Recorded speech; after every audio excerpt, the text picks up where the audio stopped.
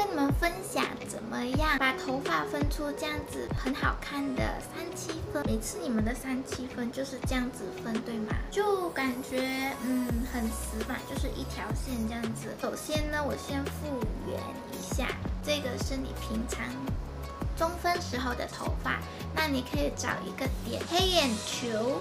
往上，往上，往上，往上这一个点，然后你把这个点往斜斜这里分过去，就是这一个斜斜，OK，你可以看到吗？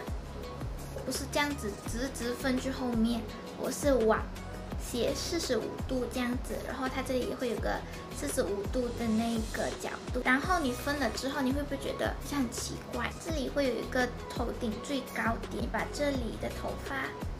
放一些去后面，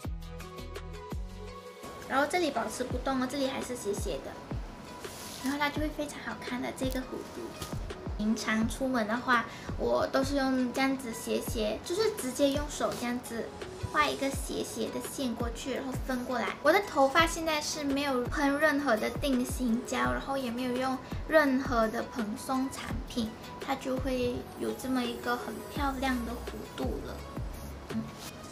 你们很常可以在我的视频上看到我用这个三七分的方法，我也不确定是不是三七分，但是它就是很好看。所以我平常录视频，嗯，我不太会去做很多发型，就是这样子分一下。